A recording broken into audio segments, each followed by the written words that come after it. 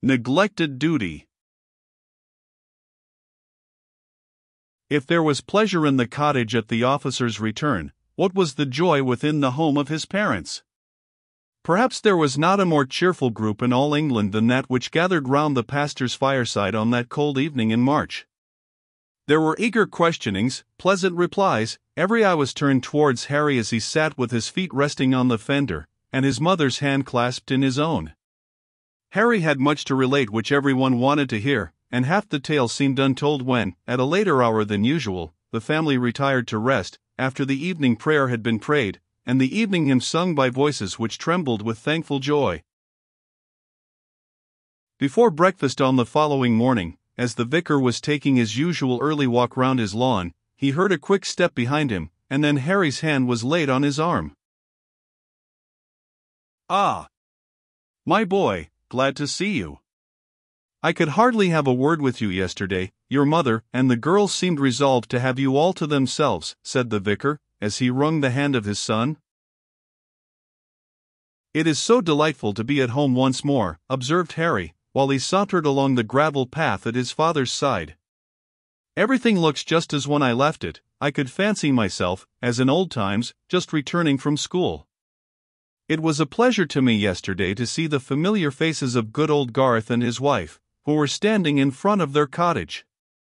I suppose that the hulking lad at their side was little Matt, whom I remember at the Sunday class, when I made my first essay at teaching. Precious hard work it was to ram anything into his brain. Matt is a good lad, though not a bright one, observed the vicar.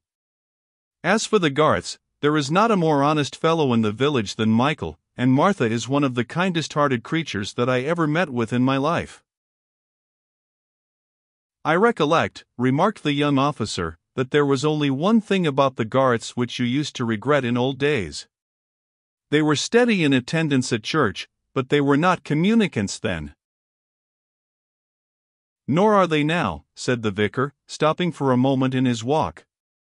It is to me a strange, and almost unaccountable thing, that God fearing, God serving people such as they, who attend the Lord's house, and prize His word, should yet, month after month, year after year, turn their backs upon His table.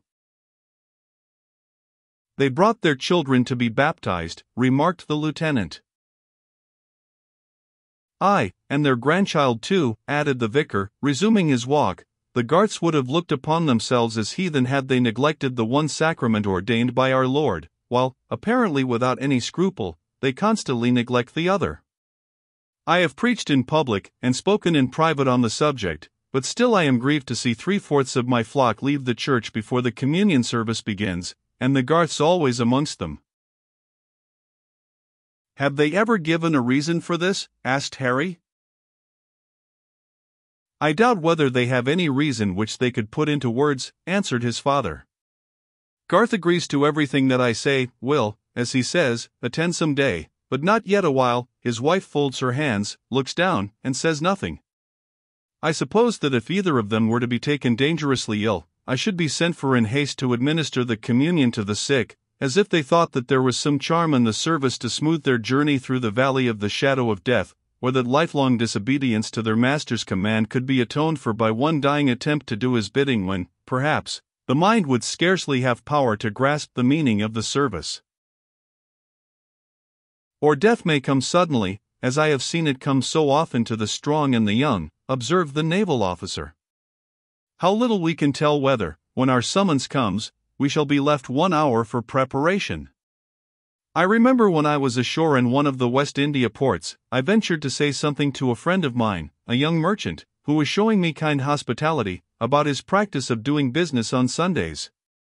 He answered me with perfect good humor that he was obliged to work hard, for that he had set his heart on scraping up enough to take him home, that he would act very differently when in Old England again, there he would take his rest on Sundays, go to church, and attend to his soul.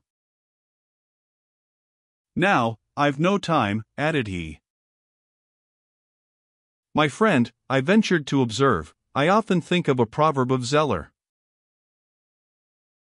The Americans say that time is money, the Christian says that time is grace. The merchant smiled, shrugged his shoulders, and turned away. Poor fellow! His time of grace was to be short.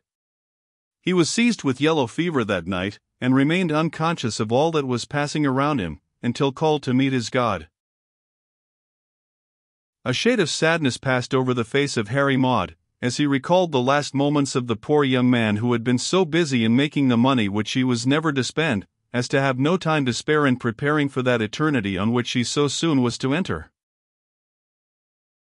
The vicar and his son walked on some paces in silence, then Harry said in a more cheerful tone, I think that I'll drop in at Garth's cottage today. I know that the kind old folk won't be sorry to see me enter it again. And you might find some opportunity, Harry, of giving a word in season. I'm a little shy of doing that, replied the young officer. I don't feel myself fit to teach others, there's so much that I myself need to learn. But you have learned two things, my son, which are the very root and foundation of all Christian knowledge. You have learned that you are a sinner, and that Jesus Christ is a Savior.